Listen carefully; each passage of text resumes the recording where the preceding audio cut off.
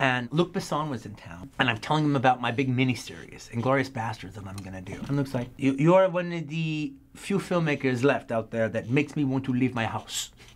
and go to a cinema. Anybody else? Like, uh, I'll watch the DVD. I can see it on TV. It'd be fine. I'm, I'm, I'm good. But more, you know, you make me want to leave the house and go see cinema. And now you tell me I'm going to have to wait four years before I can do that again? I'm sorry. I'm not so excited. And you know, every once in a while, somebody tells you something, somebody says something to you that you can never unhear. Right. And once he said that, I couldn't unhear it. And I kept thinking about it, and I kept thinking about it, and I kept thinking about it. This is my time to do movies.